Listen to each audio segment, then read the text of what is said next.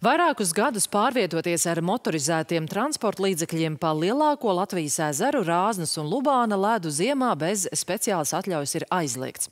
Pēdējā laikā novērots, ka pārkāpumu skaits strauji mazinās, taču vietējo viedokļi par šādu kārtību atšķirs. Lai veicinātu turismu, nākotnē veidojot jaunus dabas aizsardzības plānus, speciālisti pieļauj nelielas atkāpes un pārvietošanos varētu atļaut ar elektriskajiem sniega motocikliem. Turpina Ausma Sprukte Kozula no Latgales. Latgales reģionālās televīzijas. Rēzaknietis Jānis ceļu līdz labākajām zemledus makšķerēšanas vietām Latgales lielākajos ezeros vienmēr mēro kājām. Viņš ir informēts, ka braukt ar transportu Lubānā un Rāznā bez speciālas atļaujas aizliegts. Tam ska nav var.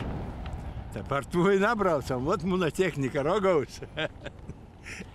Šoziem Rāznas ezerā pārvietoties ar sniega motocikliem un kvadracikliem bija atļauts 13 rūpnieciskās zvejas veicējiem un diviem turisma pakalpojumu sniedzējiem, taču sākot ar 1. martu to var darīt tikai turismu uzņēmēji. Arī Lubānā noteikumi līdzīgi. Makšķernieki šādu kārtību atbalsta. Kā jau bija atļauts Lubonā ar tehniku braukt, Ot, tu aizēji kojam cilvēciņi, un tev kā sots braukt garam ar mašīnām, ūdens, tā pībrot aizegoja kojam gobalu. Un tev pīnoklot, nu, paņem ir pabrauc. Kā klovica. Āstēsu par to, ka nedrīkst. Savukārt zivju kūpinātājs Jānis Brolišs, kas kopā ar ģimeni šoziem sāka pezaru vizināt zvejniekus un turistus, uzskata, ka atļaujām tiešām jābūt, taču vairāk rocības jādod arī turistiem, līdz ar ko ieguvēji būtu vietējie iedzīvotāji.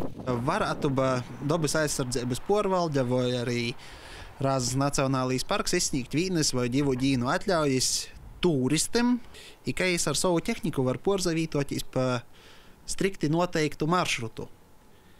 Nu, bet, protams, izējot iepriekš tehnisku apskati, tā kā cilvēki brauktu uz taņīti, atsapūstīs, izaklēdētīs, imba vajadzētu ēst, guļāt, dzert, ībatstot arī savu naudu pie vietējiem uzņēmējiem.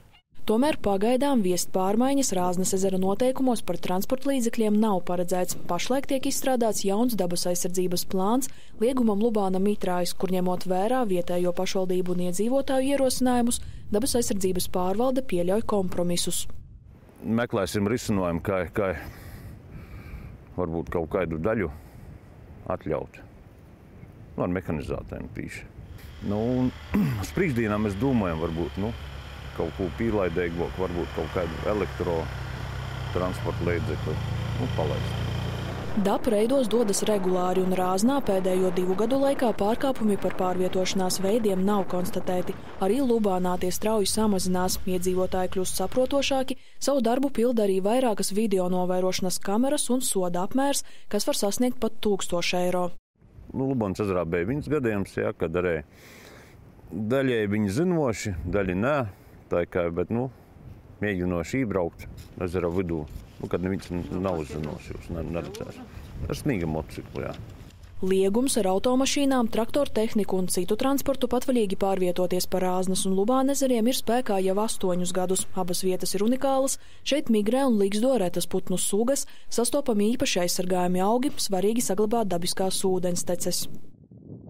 Ausmas Prukta Kozule, Vitālijas Dudarenoks, Latgals reģionālā televīzija.